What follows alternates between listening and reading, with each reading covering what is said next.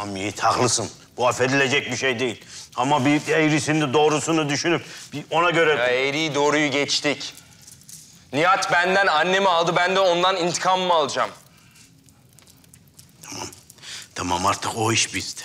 Anladın? Abiyle konuşacağım. Cezası neyse o kesilecek. Ama sen de biraz sabredeceksin. Benim sabrım annemi toprağa verene kadardı. Bu saatten sonra kendini çiğnetmek istemeyen bana sabır demesin. Tamam anlıyorum. İntikam senin hakkın. Hak ettiğini de alacaksın. Ama bu işler için önceden bir destur almak gerekli. Bak, Nihat'ın düştüğü hataya düşme. Nihat laf dinlemedi ne hallere geldi. Nihat'ı yakacağım diye kendini de yakma Yiğit. Kusura bakma Hakkı Bey. Seni sayarım. Ama intikamımı alıp bu ateşi söndürmezsem... ...o zaman kimi yakacağım hiç belli olmaz.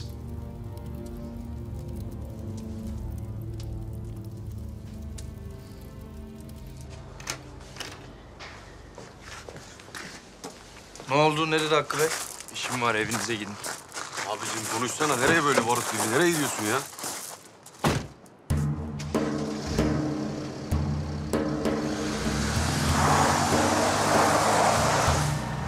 Delilik yapacak mı? Yürü.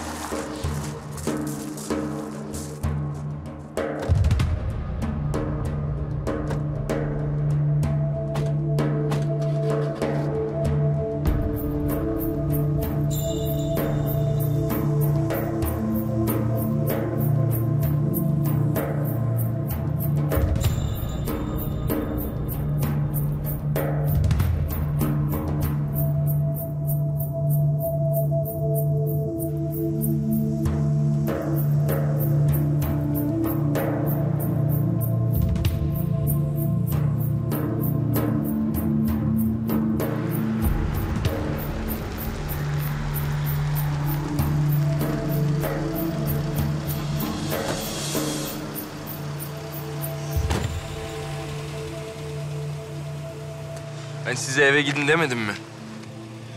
Ya nereye gidiyorsun abi tek başına? Seni yalnız bırakmayız. Biz de geleceğiz. Ya Yiğit Ya dur, Yiğit. ne yapıyorsun? Ne yapıyorsun? Tamam. Bak bir daha sefere fırlatmam yediririm anladın?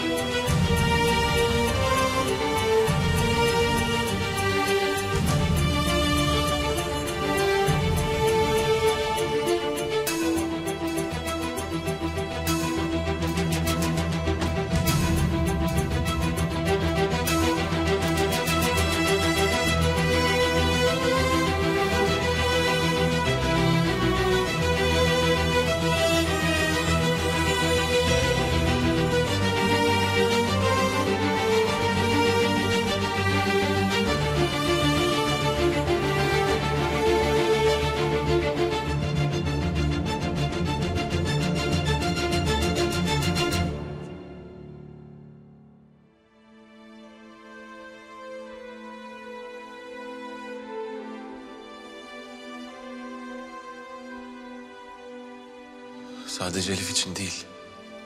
Kübra ben seni gerçekten yanımda istiyorum. Ben seninle gerçek bir aile olmak istiyorum.